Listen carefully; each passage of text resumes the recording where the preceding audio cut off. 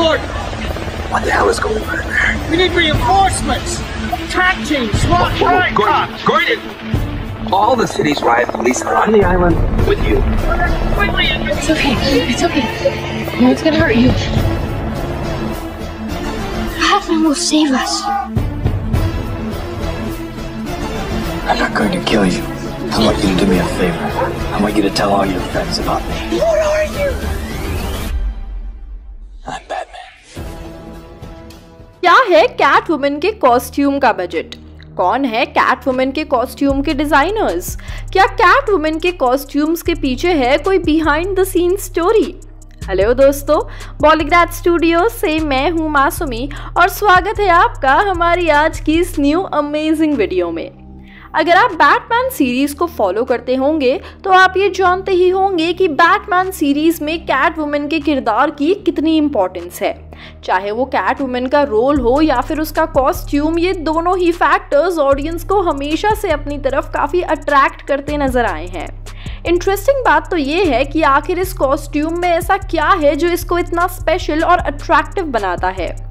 तो चलिए, आपको बताते हैं कैट वुमेन कॉस्ट्यूम के कुछ बेहद स्पेशल फीचर्स पहला फीचर है कॉस्ट्यूम के शोल्डर एरिया का थोड़ा बहुत फटा हुआ होना।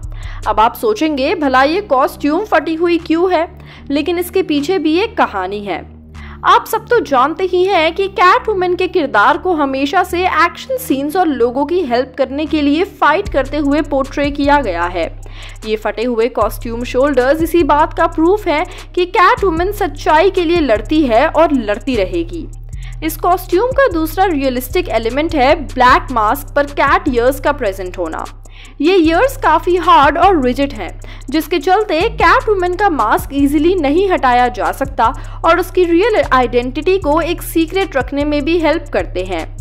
थर्ड एलिमेंट है क्लॉज ये क्लॉज कैट वुमेन को और ज़्यादा रियलिस्टिक अप्रोच देते हैं, जिससे कि कैट वुमेन का किरदार कैट से इंस्पायर्ड दिखे।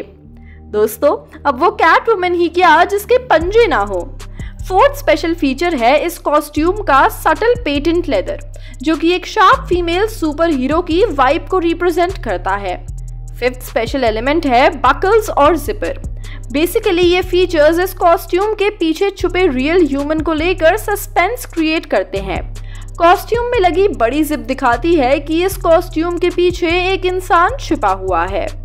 सिक्स फीचर है कैट आई और न्यूड लिप्स ये दोनों ही फीचर शो करते हैं कि कैट वुमेन एक कैट की पर्सनालिटी से ही इंस्पायर्ड है और उसकी कैट आईज ही उसकी स्मार्टनेस और क्लेवरनेस को रिप्रेजेंट करती हैं।